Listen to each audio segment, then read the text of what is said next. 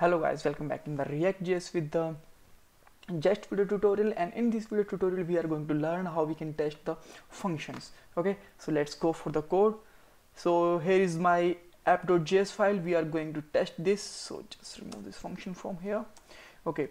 So this is the core code and uh, uh, we will going to test this code.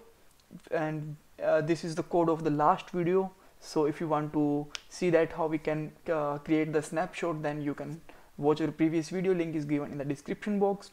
Okay? So uh, I'm going to remove this code so that I can write the scratch code from for testing the functions. Alright? So just removing it. And this is the app component here. I and I just imported it here. Alright? So first of all I'm going to import the renderer and uh, if you are asking me uh,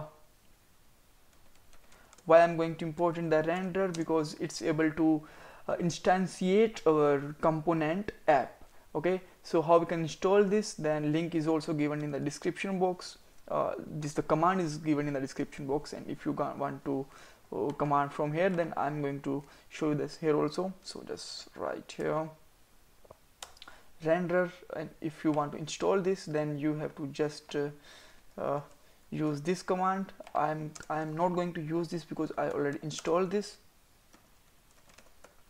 Npm install and this and the renderer will install in your system. Alright so now I'm going to write a test function. Okay. So why test? Because test is help you to testing. Okay. It's a very simple meaning. So first message is first parameter is an uh, uh, string for the message so I'm going to just write here function testing alright? And second parameter is an arrow and here we will uh, write our code okay? So just let a component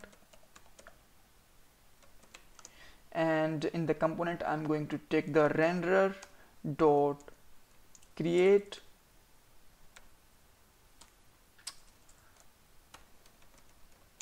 dot create and in the create function just pass our app component so that it can instance it with the get instance function. All right and after that I'm going to take uh, uh, one more variable with the let just I'm going to write here tree. Okay. So here you can just simply write here component dot uh, data function. All right what is the data function? So this is the predefined uh, this is a user defined function that we are going to test. Okay so i'm going to write here this data function.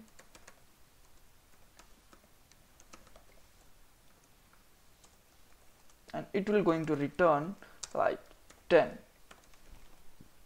all right so just match it it should be proper. Okay. Now this is the proper spelling. That's my bad the last time. Okay. So after that I'm going to check here expected uh, an expected function will be expect uh, something like tree and uh, this is expectations by the function and to be uh, should be the output of the function. So my output should be 10 why? Because it's returning the 10 here. We will check that uh, how we can pass the parameters here and we can get the data from here to here also as an parameter okay? So now just test this function for the testing. Just write here npm sorry npm test app.test.js and hit the enter. And uh, let's see the output. One case is failed here. Let's see why it is failed. Because the expected spelling is wrong. Expected. Now it should be fine. Uh, it's not expected. It's expect I think. Now let's see now you can see that the test case is the pass here all right so if I'm going to pass here uh, 11 then it would be fail. Why? Let's see I'll tell you. Expected 10 value. Because received this one and expecting this. Because it's uh, the tree function the data function is going to pass here 10 so let's say I'm going to expect here a parameter data and multiply with the 10 okay so multiply with the data. Okay so what will the uh, output here? So output would be like uh, if I pass here 10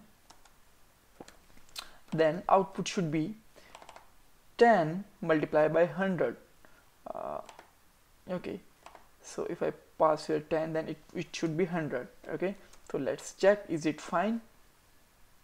Okay it's passed. If I expecting there 99 or something else then it will be going to fail.